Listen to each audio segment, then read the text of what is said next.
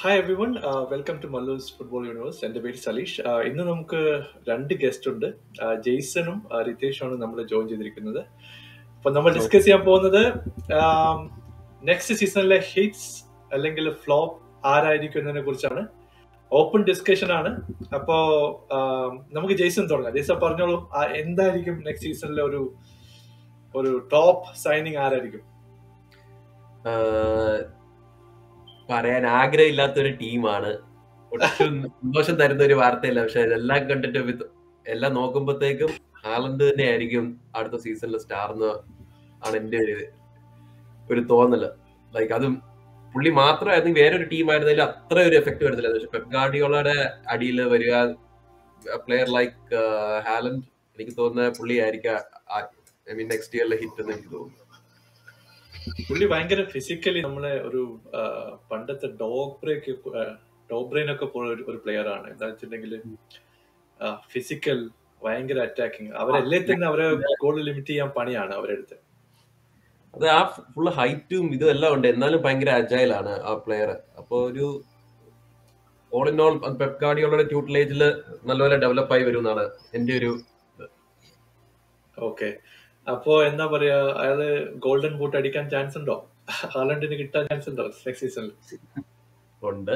ഇതുപോലെ തന്നെ I mean പിന്നെ ഉള്ള doubt Mohamed Salah. I mean of course new signing അല്ല പക്ഷെ എക്സ്റ്റൻഷൻ കിട്ടി ലിവർപൂളിൽ. അപ്പൊ ഇവർ തമ്മിലായിരിക്കും എന്നാണ് എന്റെ ഒരു തോന്നൽ. രണ്ടും ടോപ്പ് അടിപൊളി. അടിപൊളി. അപ്പൊ റിതേഷ് എന്താണ് അഭിപ്രായം? ഹാലണ്ടിന് ഹാലൻഡിന് കിട്ടുമോ അല്ലെങ്കിൽ വേറെ ആരെങ്കിലും പുതുതായിട്ട് ഇപ്പോ ലിവർപൂൾ ഒരു നൂനേസ് എന്ന് പറഞ്ഞ ഒരാളെ സൈൻ ചെയ്തിട്ടുണ്ട്. അപ്പൊ അയാൾക്കുള്ള ചാൻസ് ഉണ്ടോ? അതോ? യാ നോക്കാം. യാ നമസ്കാരം. ഞാൻ റിതേഷ് അപ്പോ ആദ്യമായിട്ടാണ് എന്റെ ഈ ഒരു ചാനലിൽ ചാൻസ് കിട്ടുന്നത്. Thank you Satheesh for inviting miss അപ്പോ ഞാൻ ഈ യാ സോ ഹാലൻഡിന്റെ കാര്യത്തിൽ ഡെഫിനറ്റ്ലി ഏറ്റവും കൂടുതൽ മീഡിയ ഹൈപ്പ് എങ്കിലും കിട്ടുന്നത് ഹാലൻഡിനാന്നുള്ള എല്ലാവർക്കും അറിയാമല്ലോ ഇത്രയും. Mbappe one of the top talked about talent ആയിട്ടാണ് കരുതപ്പെടുന്നത്. അപ്പോ ഹാലൻഡിന്റെ കാര്യത്തിൽ വലിയ അത്ഭുതങ്ങളൊന്നും ഇല്ല. എനിക്ക് തോന്നുന്നത് എക്സ്പെക്റ്റഡ് ആണ്. പക്ഷേ എനിക്ക് തോന്നുന്നു ന്യൂനസ് ഒരു ഒരു പുതിയ ഒരു റെവലേഷൻ ആയിരിക്കുമെന്ന് തോന്നുന്നു. എസ്പെഷ്യലി ക്ലബിന്റെ ഇടയിൽ വരുമ്പോൾ ഓക്കെ അവർ മറ്റേ ലൂയിസ് ഡയസിനെ കഴിഞ്ഞ വർഷം കൊണ്ടുവന്നു. അത് വളരെ ഹിറ്റ് ആയിരുന്നു. അപ്പൊ. അതിന് തന്നെ ഒരു South American footballer and he's very tall and sturdy നല്ല ഫിസിക്കലി നല്ല ഫിറ്റുമാണ് ഈവൻ ബെറ്റർ ദാൻ ഡയസ് ഒരു കോംപ്ലിമെന്റിംഗ് ആയിട്ടും സാലയ്ക്കും ഒരു കോംപ്ലിമെന്റിംഗ് ആയിട്ട് കളിക്കാൻ ഒരു നല്ല ചാൻസ് കാണുന്നുണ്ട്. But anyway like as of now Haaland തന്നെയാണ് എന്റെ അഭിപ്രായത്തിൽ എഗ്രി വിത്ത് ജേസൺ കാരണം വെച്ചാൽ ഗോഡിയോളയുടെ ആ സ്കീമിന്റെ അകത്ത് കറക്റ്റ് ആയി ഫിറ്റ് ആവും. സോ രണ്ടുപേരും നല്ല ഒരു ടോപ്പ് സൈനിങ്സ് ആയിട്ട് തന്നെയാണ് ഞാൻ കരു- കരുതുന്നത് എസ്പെഷ്യലി രണ്ട് ടോപ്പ് ടീംസിന്റെ അകത്ത്. അതെ അതെ. എന്റെ ഞാനും കംപ്ലീറ്റ്ലി എഗ്രി ചെയ്യുന്നു. വേറെ ഇപ്പം കെയിനൊക്കെ ഓൾമോസ്റ്റ് എന്താ പറയാ ഒരു പ്രത്യേകിച്ച് നമ്മുടെ ടീമിൽ അവൻ തന്നെ കളിച്ച് ഗോൾ അടിക്കേണ്ട ഒരു ഒരു സ്ഥിതിയാണ്. ഇനിയിപ്പോ അറിയില്ല. ഇപ്പൊ കോണ്ടയുടെ പുതിയ എന്തെങ്കിലും ടാക്ടിക്സും കാര്യങ്ങളൊക്കെ നെക്സ്റ്റ് സീസണിൽ കാണാം. അതില്ലെങ്കിൽ തന്നെ നമ്മൾ ടോപ്പ് ത്രീയിൽ എന്ന് വെച്ചിട്ടുണ്ടെങ്കിൽ ഒരു ഗോൾ മെഷീൻ ആയിട്ടുള്ള ഒരു അങ്ങനെ ഒരു കളിക്കാരനില്ല. അവരെന്ന് വെച്ചിട്ടുണ്ടെങ്കിൽ ഫ്രണ്ട് ത്രീ കംപ്ലീറ്റ്ലി അറ്റാക്കിംഗ് ആണ്. ആ ഒരു സിസ്റ്റത്തിൽ ഒരു സ്ട്രൈക്കർ കൂടി വന്നു കഴിഞ്ഞിട്ടുണ്ടെങ്കിൽ ഒരുപാട് ചാൻസസും ടാപ്പിൻസ് ഒക്കെ കിട്ടും. അപ്പൊ ജസ്റ്റ് ഗോൾ പോസ്റ്റിനടുത്ത് പോയി നിന്നാൽ തന്നെ ഗോൾ സ്കോർ ചെയ്യാൻ പറ്റുന്ന രീതിയിൽ കഴിഞ്ഞ സീസണിൽ നമ്മൾ കണ്ടതാണ്. കാരണം ഒരുപാട് ഓപ്പർച്യൂണിറ്റി ഇങ്ങനെ മിസ്സായിട്ടുണ്ട് അവർക്ക് ഒരു സ്ട്രൈക്കർ ഇല്ലാത്തതിനെ കൊണ്ട് ഇപ്പോൾ ഒരു ഒരു ത്രൂ ഔട്ട് ഒരു സ്ട്രൈക്കർ കൂടി വന്നു കഴിഞ്ഞാൽ പിന്നെ അവരെ അവരെ പിടിച്ചാൽ കിട്ടാത്ത സ്ഥിതിയിലേക്ക് പോകും കാര്യങ്ങൾ പോകുന്നതാണ് സെറ്റ് പ്ലേസിൽ വരുമ്പോഴാണ് ഇതിന്റെ വലിയ ഇമ്പോർട്ടൻസ് വരാൻ പോകുന്നത്. അതായത് ഫ്രീ കിക്സ് അതുപോലെ കോർണേഴ്സ് ഒക്കെ വരുമ്പോൾ ഹൈറ്റും അഡ്വാന്റേജ് എല്ലാം ഹാലൻഡിനുണ്ട് ഇതുവരെയും പെപ്പിന്റെ ആ ഒരു ഫുൾ സ്വിംഗ് അറ്റാക്ക് ആയിരുന്നു. അതായത് five you know forwards at the same time എന്ന് പറയുന്നത്. ഇപ്പൊ അവർക്ക് കുറച്ചുകൂടെ അതിനകത്ത് അഡ്ജസ്റ്റ് ചെയ്തിട്ട് കളിക്കാൻ പറ്റും തോന്നുന്നു ഹലാൻഡ് വരുമ്പോൾ കുറച്ചുകൂടെ മോർ ഓർഗനൈസ് ലൈക്ക് ട്രഡീഷണൽ ഗെയിമിൽ അതായത് വൺ സ്ട്രൈക്കർ മെയിൻലി ബാക്കിയുള്ളവർ സപ്പോർട്ടിംഗ് എന്നുള്ള നിലയിൽ ഹോപ്പ്ഫുള്ളി അതായിരിക്കും സ്കീം തോന്നുന്നു. അപ്പൊ കണ്ടറിയാം. പിന്നെ ആ കൂടെ ഒരു ഡൗട്ട് ഉള്ളതെന്ന് പറഞ്ഞാൽ premier league it's different beast മറ്റേ ലീഗ്സ് വെച്ച് നോക്കുമ്പോഴത്തേക്കും നമ്മൾ നേരത്തെ കണ്ടിട്ടുണ്ട് ഭയങ്കര നന്നായിട്ട് വേറെയുള്ള ലീഗ്സിൽ കളിച്ചിട്ട് ഇ പിയിൽ വരുമ്പോഴത്തേക്കും ഫുള്ളോടെ ഒരു എന്നാ പറഞ്ഞ അന്തം വിട്ട് നിൽക്കുന്ന പോലത്തെ ഒരു അതെ. മാത്രമുള്ള ഒരു ഡൗട്ട് ഐ മീൻ പക്ഷെ അതെ എനിക്ക് തോന്നുന്നു പറയുന്നത് അവർ ഇപ്പൊ- ഞാനൊരു കാര്യം കണ്ടത് ഇപ്പൊ ലുക്കാക്കൊക്കെ തിരിച്ചു വന്നതിന് ശേഷവും പുള്ളിക്കാരന് മൂവ്മെന്റ് ഒന്നും അത്ര ഇല്ലായിരുന്നു. അപ്പോ എന്താ പറയാ ബോളിനായിട്ട് ഇങ്ങനെ വെയിറ്റ് ചെയ്യും പക്ഷെ ഏതെങ്കിലും ഡിഫൻഡർ അടിച്ച് പുറത്ത് കളയുന്ന ഒരു ഒരു കാഴ്ച നമ്മൾ കണ്ടിട്ടുണ്ട്. അപ്പോ അല്ല ഇതെന്ന് പറയുന്നത് ഗ്ലാഡിയോള ഉള്ളത് കൊണ്ടാണ് നമുക്കൊരു ഒരു ഒരു പ്രതീക്ഷ. കാരണം വെച്ചിട്ടുണ്ടെങ്കിൽ പുള്ളിക്കാരൻ എന്തായാലും ടാക്ടിക്കലി ഭയങ്കര ഒരു ജീനിയസ് ആണ്. അപ്പൊ എങ്ങനെ കളിക്കണം? പ്രത്യേകിച്ച് ഈ താഴെ ടോപ്പ് ലോ ബോട്ടമിലൊക്കെ ടീംസിനൊക്കെ അവർ തീരെ സമ്മതിക്കാതെ തന്നെ സ്കോർ ചെയ്യും. അവരൊന്ന് അറ്റാക്ക് എന്ന് പറയുന്നത് കണ്ടിന്യൂസ് അറ്റാക്ക് തന്നെ ആയിരിക്കും പ്രത്യേകിച്ച് ഇപ്പൊ ഇയാൾ കൂടി ഫ്രണ്ടിൽ വന്ന സ്ഥിതിക്ക് അവർക്ക് പേടിക്കേണ്ട കാര്യമില്ല. പണ്ട് അങ്ങനത്തെ ഒരു ഒരു സ്റ്റേർലിംഗ് ഉണ്ട്. പക്ഷെ അവർ സ്റ്റേർലിങ്ങിനെ വെച്ച് നോക്കുമ്പോൾ കുറച്ചുകൂടി ഫാസ്റ്റ് ആയിട്ടുള്ള ഒരു ഒരു സ്ട്രൈക്കറാണ് ഹാലുണ്ട് അപ്പോ അതുകൂടി വെച്ച് നോക്കുമ്പോൾ പിന്നെ ഒന്നും പറയാനില്ല. ഒരു ഒരു ഗ്യാപ്പ് ഫില്ലിംഗ് ആണ്. ശരിക്കും പറഞ്ഞാൽ അഗ്വേറ പോയതിനു ശേഷം ഒരു ഒരു സെന്റർ സ്ട്രൈക്കർ എന്ന് പറയുന്ന ഒരു പൊസിഷൻ വലിയ ഗ്യാപ്പിൽ കിടക്കുകയാണ്. കുറെ കാലമായിട്ട് ഒരു എന്താ പറയാ ഈ ആ ഒരു ഇതിലേക്ക് കൊണ്ടുവരികയാണ്. ഇങ്ങനെ ഗ്രാജുവലായിട്ട് കൊണ്ടുവരാനുള്ള ഒരു ലോങ് ടൈം പ്ലാൻ ആണെന്ന് തോന്നുന്നു. കാരണം ഇപ്പോൾ ഇപ്പോ ഉള്ള ഒരു സ്കീം പ്രകാരം പെപ്പിന്റെ സ്കീം പ്രകാരം ഓൾ ഇൻ ഓൾ അറ്റാക്ക് ആണ്. ഇപ്പൊ ശരിക്കും മിഡ്ഫീൽഡിൽ ഇപ്പം യുനോ കെവിൻ ഡെബ്രോയിനോട്ടൊക്കെ കുറച്ചുകൂടെ മിഡ്ഫീൽഡിൽ ഫോക്കസ് ചെയ്ത് കളിക്കാൻ പറ്റും. കാരണം ഇപ്പോ അവരെ ഓൾ ഇൻ ഓൾ അറ്റാക്ക് എന്ന് പറയുന്നത് ചിലപ്പോൾ അതിനകത്ത് പല പല ഗ്യാപ്സ് വരുന്നുണ്ട്. ഇപ്പം എനിക്ക് തോന്നുന്നു അതിന് അഗ്വേരയുടെ ഒക്കെ പഴയ പോലത്തെയുള്ള ഒരു ഒരു ഫില്ലിംഗ് ദാറ്റ് ഗ്യാപ്പ് അതാണ് അതെ അതെ. ഷോ ഷോ ഷോ അപ്പൊ ജെയ്സൺ ഓവറോൾ ടീം ആയാലും വളരെ നന്നായിട്ട് ബിസിനസ് ചെയ്തെന്നുള്ളതാണ്. ലൈക്ക് അവർ ആകെ ഐ മീൻ നല്ല സ്ട്രോങ് ആയിട്ടുള്ള ഹാലൻഡിനെ കൊണ്ടുവന്നു കാൽവിൻ ഫിലിപ്സിനെ കൊണ്ടുവന്നു ലീഡ്സ് യുണൈറ്റഡിൽ നിന്ന് എന്നിട്ട് അവർ എനിക്ക് രണ്ടും കൂടെ കമ്പൈൻഡ് ആയിട്ട് ഹൺഡ്രഡ് മില്യൺ പൗണ്ട്സിന്റെ അടിയിൽ എങ്ങാണ്ട് വന്നത് ഐ മീൻ ആ റേഞ്ചിലാണ് വന്നേക്കുന്നത്. എന്നിട്ട് രണ്ട് പ്ലെയറെ വിറ്റു അതെ. ഗബ്രിയൽ ഹെസൂസിനെ വിറ്റു Sterling I mean almost given ആണ്. ചെൽസി അത് ഇത് കൺഫേം ആയോ ആക്ച്വലി കൺഫേം ആയി കൺഫേം ആയി. അവർ സൈൻ ചെയ്തു. Forty five something fifty million അടുത്ത് കൺഫേം ആയി. ഓ. എന്നിട്ട് പിന്നെ എനിക്കത് ഗോൾ കീപ്പറിനെ ഏതാണ്ട് ഓഫ് ലോഡ് ചെയ്തായിരുന്നു തോന്നുന്നില്ല ഏതാണ്ട് ഒരു റിസ് ഐ മീൻ അങ്ങനെ ഏതായാലും ഫുൾ ബിസിനസ് ചെയ്തപ്പോഴത്തേക്ക് അവർക്ക് ആക്ച്വലി ലാഭമായിട്ടെങ്ങാണ്ടാണ് വരുന്നത്. സോ അതെ. ലൈക്ക് വളരെ നന്നായിട്ട് അവർ ട്രാൻസ്ഫർ വിൻഡോ യൂസ് ചെയ്തു. കറക്റ്റ് കറക്റ്റ് അത് ഞാൻ തീരെ പ്രതീക്ഷിച്ചില്ല. അവർ രണ്ടുപേരെ വിൽക്കുന്ന ഞാൻ തീരെ പ്രതീക്ഷിച്ചില്ല. അൺഎക്സ്പെക്ടഡ് ഇയാൾ വന്നതോടെ അവർ രണ്ടുപേരെയും ഓഫ് ലോഡ് ചെയ്തു എനിക്ക് തോന്നുന്നു സ്റ്റെർലിംഗിന്റെ അവർക്ക് ശരിക്കും ഒരു ലാഭ കച്ചവടമാണ് സ്റ്റെർലിംഗിന്റെ ഓൾമോസ്റ്റ് പീക്ക് ടൈം കഴിഞ്ഞു.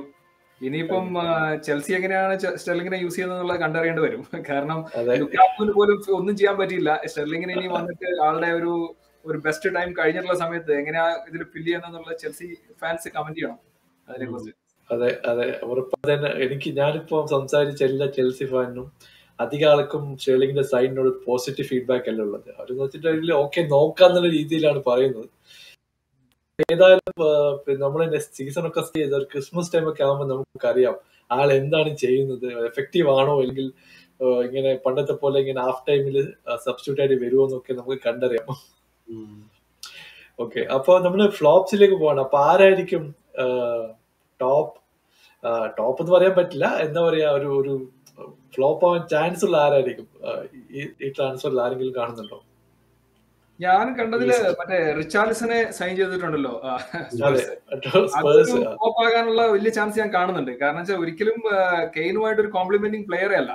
റിച്ചാർഡ്സൺ ഒരു ഒരു സെൽഫ് കളിക്കുന്ന ഒരു ബ്രസീലിയൻ ഫോർവേഡ് മാത്രമാണ് ശരിക്കും അവരുടെ ടീമുമായിട്ട് ജെല്ലാകാൻ വളരെ എസ്പെഷ്യലി ഇപ്പൊ കളിക്കുന്ന അവരുടെ സ്കീമുമായിട്ട് ഒരു കോൺഫ്ലിക്ട് പോലെ തോന്നുന്നുണ്ട്.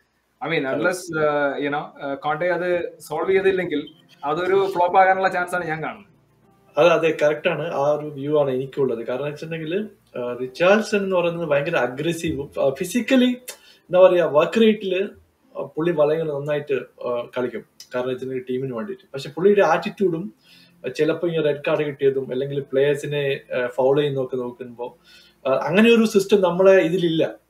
ശരിക്കും നമ്മുടെ നമ്മളെ ഫ്രണ്ട്സിനെ നോക്കി കഴിഞ്ഞിട്ടുണ്ടെങ്കിൽ സോഫ്റ്റ് ആയിട്ടുള്ള കുറച്ചുകൂടി സോഫ്റ്റർ രീതിയിലാണ് ഈ സണ്ണും കെയിനും ഇവരൊക്കെ കളിക്കുന്നത്. അപ്പൊ ആ വിഷയത്തിലേക്ക് പെട്ടെന്ന് ഈ റിച്ചാർഡ്സിനെ കൊണ്ടുവന്നു കഴിഞ്ഞാൽ എന്തായിരിക്കും എഫക്റ്റ് എന്ന് പറയാൻ പറ്റില്ല.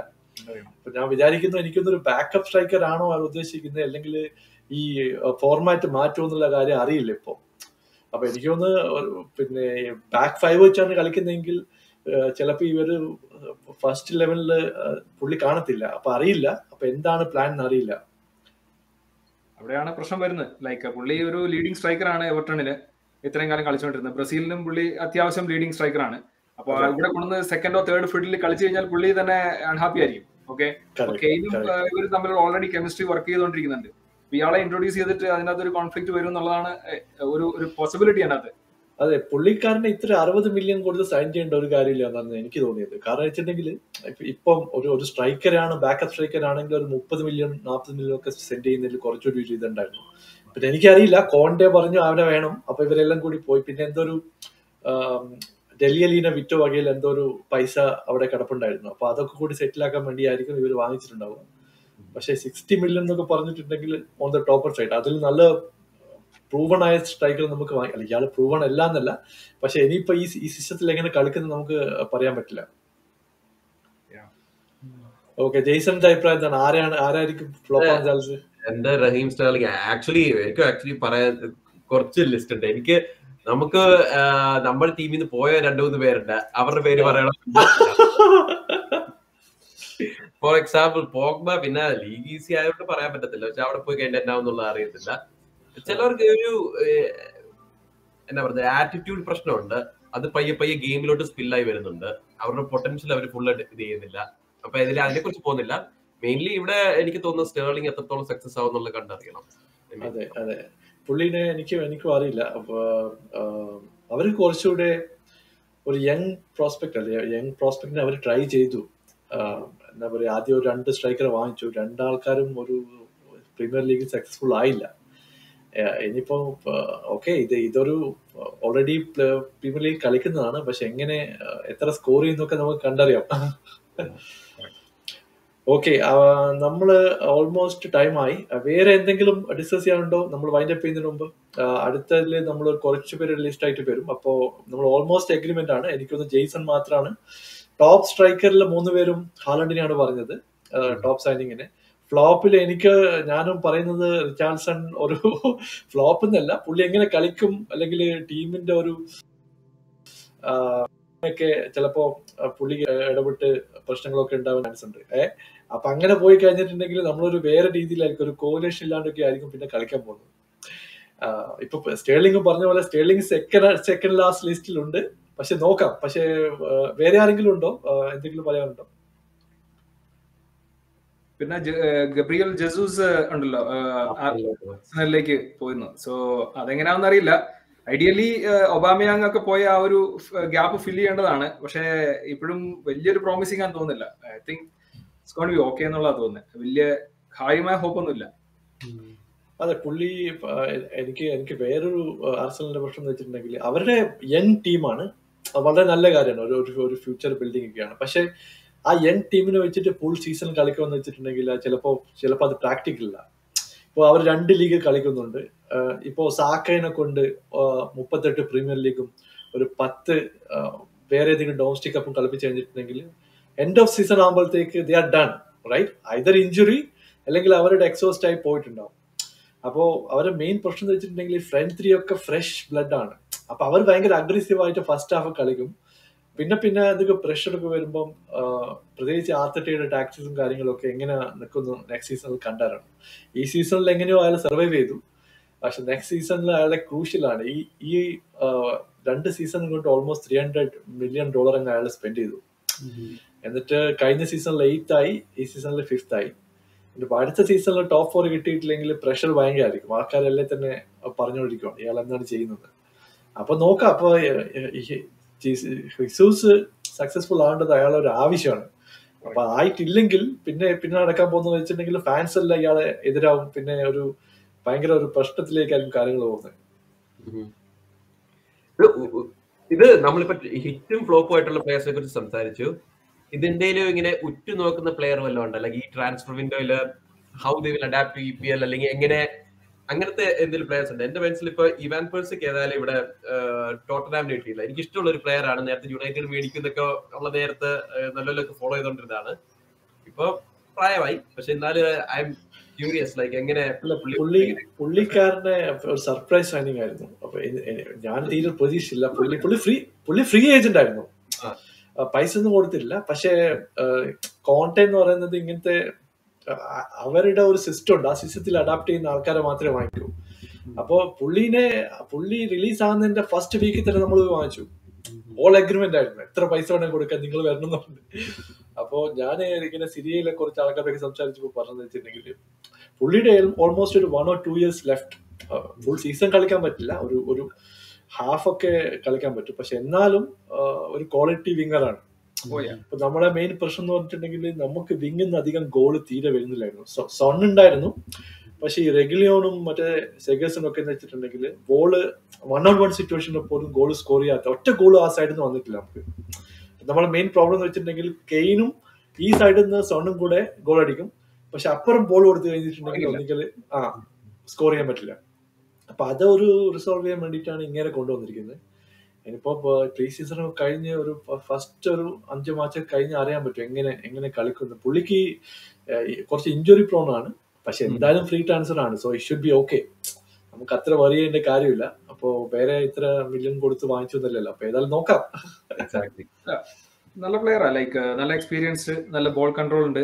ഐ മീൻ ജനറലി ക്രൊയേഷ്യൻ പ്ലേയേഴ്സിനെ എല്ലാം എനിക്ക് ഭയങ്കര ഇഷ്ടമാണ് പേഴ്സണലി പക്ഷെ ആൾ ഒരു നല്ല സൈനിങ് ആ ശരിക്കും പറഞ്ഞാൽ പറഞ്ഞ പോലെ ആ ലെഫ്റ്റ് സൈഡിലുള്ള വീക്ക്നെസ് ഫിൽ ചെയ്യാൻ പറ്റും സ്പേഴ്സിന് കുറെയൊക്കെ hopefully ഇതായിരിക്കും.